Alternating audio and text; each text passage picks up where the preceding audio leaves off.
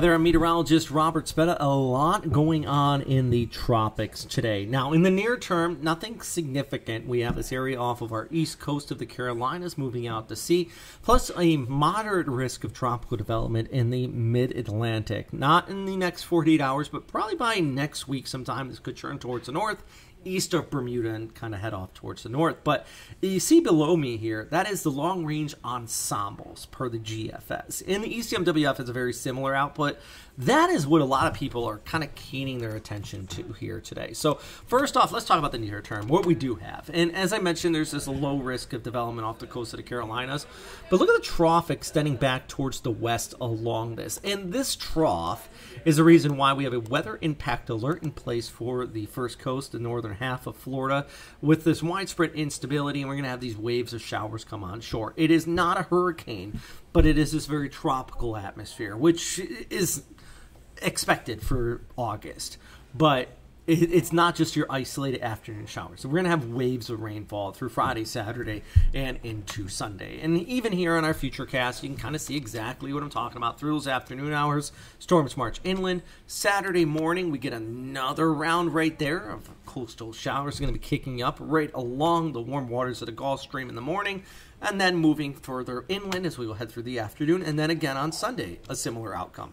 So in the end, especially along the coast where this moisture is pumping onshore, there could be spots seeing as much as four to five, maybe in isolated locales, about six inches of total precipitation on top of already saturated grounds creates that risk of increased flooding. And that's going to be one of the big issues with that. But let's look at the broader picture because, you know, we're talking about the tropics in general. Dexter, shown right here, is gone post tropical. It's out in the North Atlantic.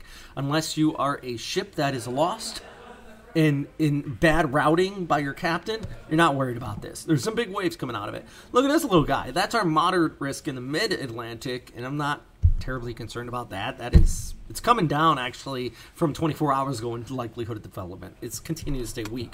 This is where everybody's attention is. This coast, this wave coming off the coastline of Africa. And if we look at the long range outlooks, there has been increasing confidence this could spin up into something.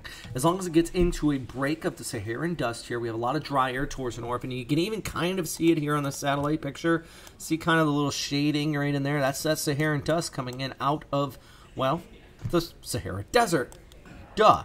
Um, basically, this wave is going to skirt along the southern edge of that. And if we take a look at some of the guidance, you can kind of see it trying to develop off of the coast here and moving off towards the west, rounding the Bermuda High towards the north. Now, the question is, how strong is this Bermuda High going to be? You can see right here, actually, this is that moderate risk of development right there that one we're currently monitoring. And then this is that next area coming off the west coast of Africa. And this is a little bit more of a zoomed in view from the GFS, specifically the GFS Global Forecasting System, that supercomputer, showing this moving just north of the Bahamas by next Sunday, Monday, Tuesday timeframe. That is still a long range out, friends. Still a lot of uncertainty. Now you compare this with the GFS versus the European. That is the GFS there in blue, the European in yellow. These are two different models that are kind of showing a very similar output. And then we, the graphic I've had below here, this is ensembles. Basically, you have those pretty operational models we show you all the time here. You rip that apart and you look at the different outputs within the supercomputer. And this is indicating a pretty decent increase in confidence that a low pressure area, at the very least, potentially a named storm, is going to be off of the east coast of the United States. How strong and where exactly, uh, uncertain, but somewhere in this area we're probably going to have something out here. So, yeah, it, it, and, and the uncertainty lies not only with the storm formation, but the Bermuda High as well. And, and, let me explain. So right here, you kind of have a good idea of where the Bermuda High is. That is this area in the green. But let's say this edge further towards the west. It gets a little bit stronger. Anything that develops down here is going to want to run further towards the west. If it edges further towards the east, and let's say this new storm that's developing near Bermuda um, degrades the high, it's going to push everything back towards east and well off of the coast. So these are some of the variabilities we're looking at, even in a long range forecast. Climatology says that all those variabilities are possible based on right here, the August climatology and where systems typically are. But with long range forecasters, still a lot of uncertainty, chaos theory. Um, the closer we get to that specific date, the more increase in the confidence we have at this time. At the very least, it is mid August. We have tropical systems in the Atlantic.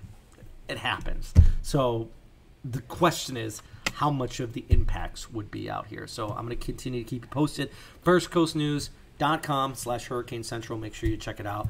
Um, got plenty of graphics there with uh, the latest and greatest information.